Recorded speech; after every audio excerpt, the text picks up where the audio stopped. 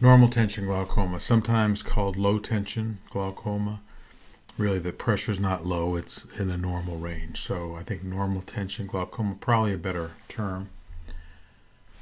It's a disease that has all of the features of primary open angle glaucoma optic nerve head cupping and visual field loss, but without a documented elevated intraocular pressure.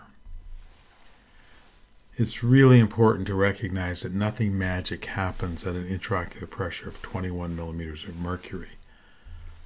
There's really no difference between someone with a peak pressure of 20 and someone with a peak pressure of 22, even though one might call the first person normal tension and the second person primary open angle glaucoma.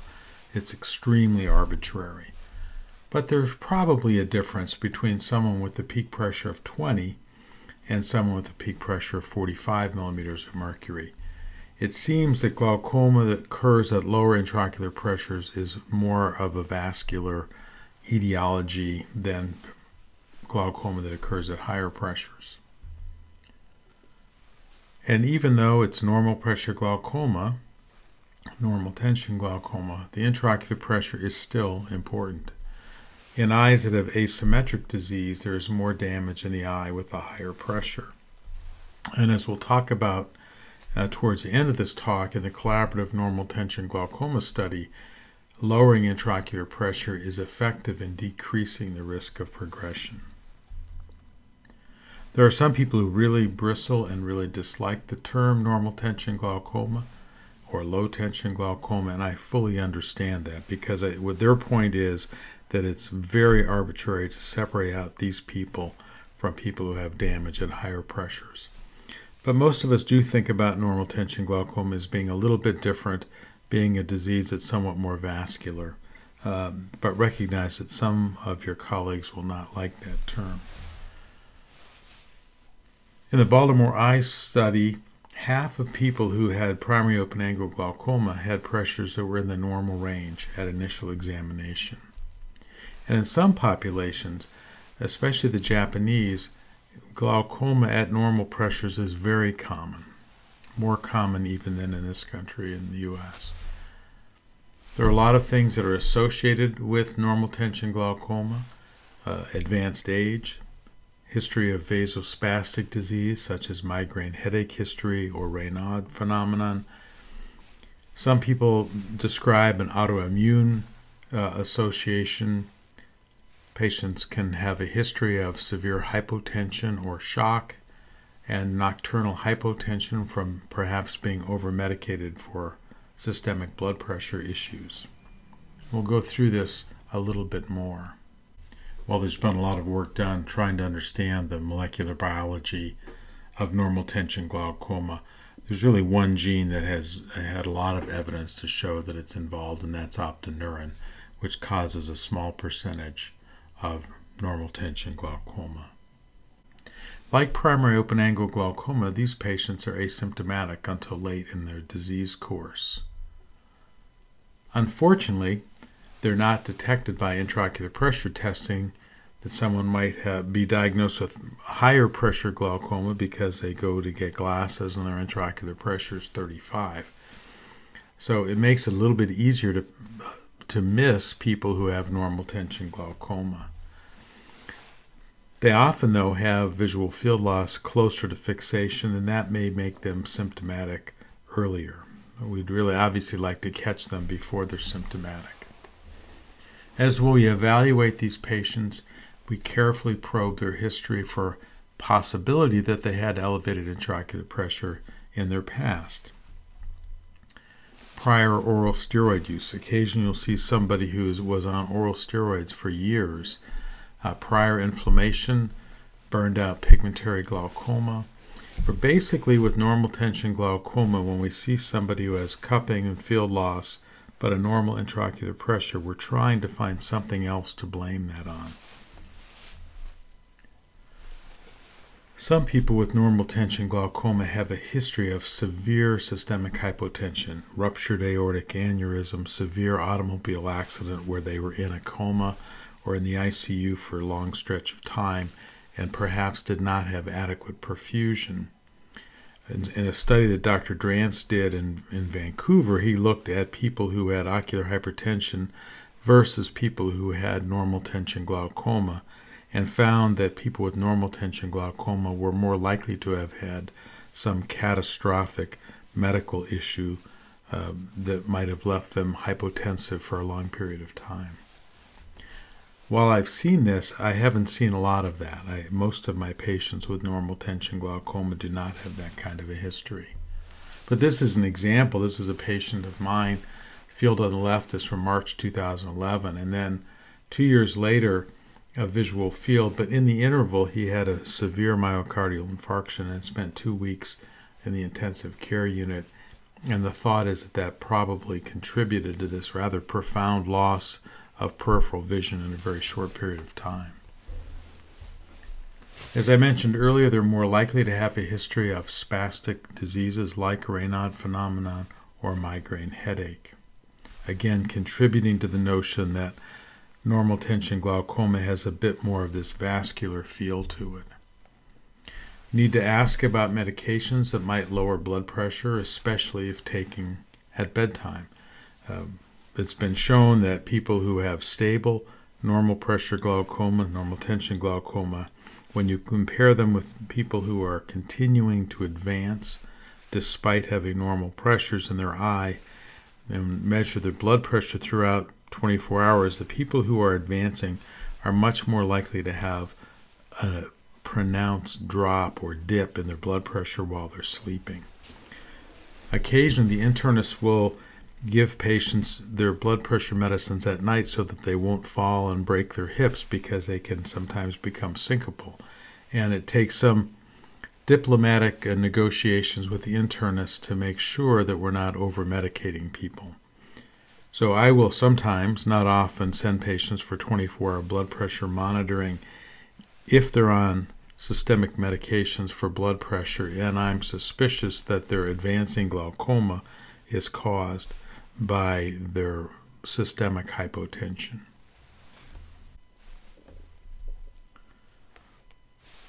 One can ask for a history of autoimmune disease. There are some studies that suggest that autoimmune disease is associated with normal tension glaucoma.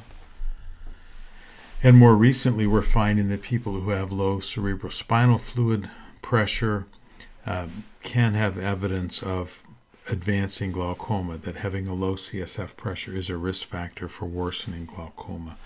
This is a fairly new area of study, and I think uh, more needs to be learned about CSF pressure.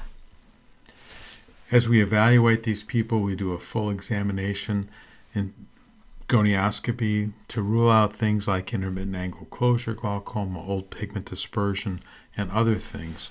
Is there something that you can blame this on? Could this be high pressure that's intermittent or old. This is a 75 year old patient who presented with normal pressure glaucoma and on slit lamp exam has a Krukenberg spindle, completely normal intraocular pressures.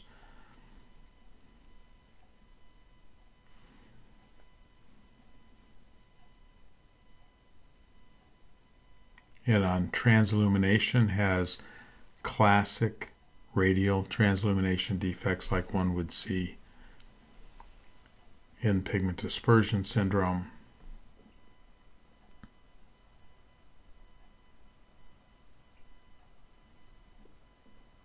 And in the angle, black pigment, as one would see in pigment dispersion syndrome.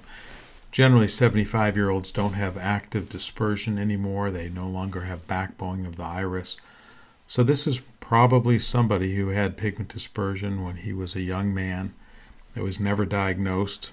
The pigment has cleared and stopped dispersing, and now he's left with optic nerve damage and visual field loss, and comes in with the diagnosis of normal tension glaucoma. But my assumption in this person is that he had high pressures in the past, and what we're seeing is old damage. Sometimes in these people with burned out pigment dispersion syndrome, one will see reversal of pigmentation in that there's more pigment in the upper angle than in the lower angle. Uh, and so there are very few things that cause that. Most times people who have pigmentation will have more in the bottom than the top from gravity. But if we see this inverse pigmentation where there's more above than below, then again consider burned out pigment dispersion syndrome.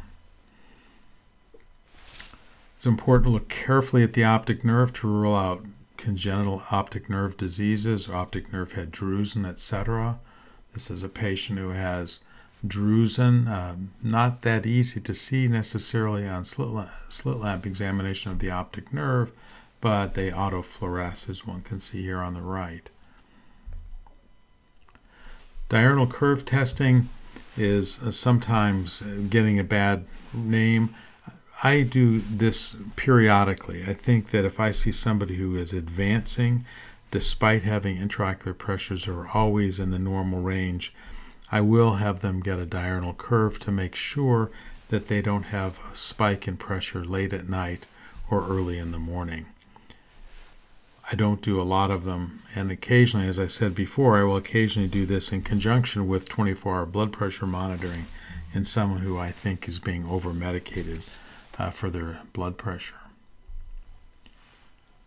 When we look at the optic nerves, they are cupped because they are glaucomatous, but they tend to be often more focal than in higher pressure glaucoma, as we can see here. It looks like someone just took a little bite out of this optic nerve rim, and the rest of the rim looks pretty good. Just a few more examples of notching some people will call this an acquired pit, which to me is not that helpful a term, but you can see this notch in the inferior rim here and also here. And actually, one can see a, a swath of nerve fiber layer that's missing here. Optic nerve hemorrhages are more frequent in normal tension glaucoma, and they are a poor prognostic sign that the glaucoma is not well controlled. Sometimes they are not subtle, uh, like we're seeing here, but sometimes they're quite subtle. And often they're easiest to see on photographs. So we can see here these two very subtle hemorrhages.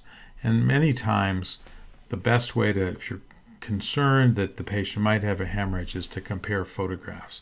This patient has a very subtle optic nerve head hemorrhage. It was really easiest to see after I looked at the old photograph and then it let me appreciate the fact that there's a little hemorrhage right here that actually extends out across the border of the rim. Like other forms of glaucoma, these patients have visual field loss. It's more frequently steeper, deeper, and closer to fixation. So these kinds of field loss patients that have this very profound drop right at fixation are somewhat more common in patients who have normal tension glaucoma. It's a patient who has a notch in this right eye with this fixation splitting field defect, as you can see here. Very characteristic of normal tension glaucoma. This patient has vertical cupping, a hemorrhage. You can see these defects in the nerve fiber layer. And again, classic visual field loss at splitting fixation. Some people will do neuroimaging for patients who have normal tension glaucoma. Uh, I find that uh, this is very low yield for people who have disease that looks exactly like glaucoma. Certainly, if the visual field loss doesn't fit the optic nerves, or someone has field loss that's far beyond the amount of cupping or doesn't match the cupping, then it would be reasonable to consider neuroimaging. But for somebody whose nerve looks exactly like glaucoma with a notch and a glaucomatous visual field defect, I don't find this to be particularly cost beneficial. We treat it like primary open angle glaucoma. The collaborative normal tension glaucoma study use a 30% pressure reduction, and because that was effective, that has become the standard that we all try to achieve. Remember that lowering pressure from a normal range is much harder than treating a high pressure. I always use the analogy with the patients that it's trying to have someone who's already slender lose 20 pounds. The body just doesn't like to go certain places. And so treating normal tension glaucoma to me can be quite difficult. Remember that the episcleral venous pressure is somewhere around 8 to 12 millimeters of mercury, and that's the potential lower limit of medications and trabeculoplasty. So we use the usual medications. Uh, tend to avoid uh, beta blockers because they can lower the blood pressure and they are not very good at lowering intraocular pressure at night. The Logit study, which I'll talk about in a minute, showed an advantage of brimonidine over timolol. I think most people would start with a prostaglandin analog because it is the most effective at lowering the intraocular pressure. I do precious little trabeculoplasty for people with normal tension glaucoma, but there is evidence that if people are at the upper range of normal tension, like pressures of 19 and 20, that it may help some. But these patients in general are more likely to go on to trabeculectomy than patients who present with higher intraocular pressures. Well, there are two randomized clinical trials that I would like to talk about relative to normal tension glaucoma. And I have these little orange bands down the side to remind you that we're talking about a randomized trial. And really, these are studies that are important at creating the framework for how we think about these diseases. Collaborative normal tension glaucoma study uh, is one of the most important studies in glaucoma. And the question basically is Does it help to lower the intraocular pressure if someone has glaucoma? Does it slow the disease progression? When this study was started in the 1980s, there really was no evidence that lowering pressure for normal tension glaucoma made sense. Patients were randomly assigned to be treated or followed, um, and they were followed for changes in optic nerve appearance or reproducible changes in visual field, and a reading center would evaluate the patient's uh, studies. The primary results showed that in people who were treated, 12% progressed compared to 35% of the controls. And actually, the study was so effective in preventing glaucomatous damage that it had to be stopped early because it was no longer fair to not treat people who had normal tension glaucoma. It's really important to recognize that in 65% of untreated patients in the study, there was no progression of glaucoma. And as I said, there was 12% of eyes that did progress despite treatment. Patients who were treated were more likely to have cataracts. Some of this was from surgery. Back then, there was pilocarpine was being used, uh, but cataracts were more typically seen in the treated than the untreated group. The other randomized clinical trial is the LOGIT study, low pressure glaucoma treatment study. The question here was Is brimonidine preferable to timolol for the treatment of normal tension glaucoma? So patients were randomly assigned to one of these two medications and followed for visual field loss. The primary results showed that despite a similar drop in intraocular pressure, at 30 months, the brimonidine patients were less likely to progress about 9% of the time than the timolol patients about 39% of the time. There was a high percentage of drug intolerance to brimonidine. So a lot of debate has occurred about the Logit study. Is it the fact that brimonidine is neuroprotective or perhaps beta blockers are harmful to patients with normal tension glaucoma. In 2013, the Cochrane, uh, a Cochrane review was done that basically said that this trial did not provide evidence that they are effectively preventing retinal ganglion cell death and thus preserving vision in people with open angle glaucoma. In other words, there was not, according to the Cochrane review, enough evidence to say that brimonidine was neuroprotective one of the problems with the study was there was a huge dropout rate, especially in the brimonidine group, that made it a little bit difficult to prove that this was neuroprotective. But I think the study has caused some of us to think that perhaps timolol should not be high on our list of medications for normal tension glaucoma, and other drugs, including brimonidine, might be a better choice after prostaglandins. I have two rules based on these studies for normal tension glaucoma that I always tell the residents and fellows. One is because 65% of people in the collaborative normal tension glaucoma study did not progress. I'm pretty slow to begin therapy. So if someone does not have fixation splitting field loss, they have clearly glaucomatous optic nerve damage and field loss, but it's not really terrible, then I might not treat them. I would just follow them to see if they're progressing because they may not. And the exception, uh, of course, would be people who have fix- fixation splitting defect and severe field loss. You really can't wait to begin therapy. But for most patients, I would follow them carefully with fields and OCT and optic nerve examination and not begin therapy. But the second rule is once I do uh, recognize that they are getting worse, then I'm very aggressive in treating them and getting their pressure down by at least 30%.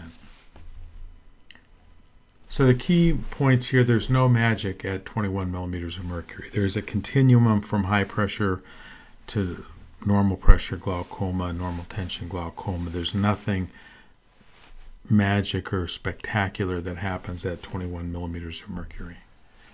This is a continuum with higher pressure glaucoma, but perhaps more vascular of a disease than people who have high pressure glaucoma. There's more focal cupping, usually, not always, and field loss that is steeper, deeper, and closer to fixation. And when we treat, and, and I would caution you to be careful about starting treatment. It's a very hard road, so I really want to be sure that I'm on the right road before I start treating. I'll usually follow them. If I have evidence that they're progressing, then I think I need to be very aggressive. As a collaborative normal tension glaucoma study showed us, we need to be aiming for about 30% pressure lowering. So normal tension glaucoma in my practice makes up a, a, very large percentage of my practice, probably over a third. And you will be dealing with these people no matter what sort of ophthalmology practice you go into. And you really need to have a plan of how to evaluate them and then how to treat them.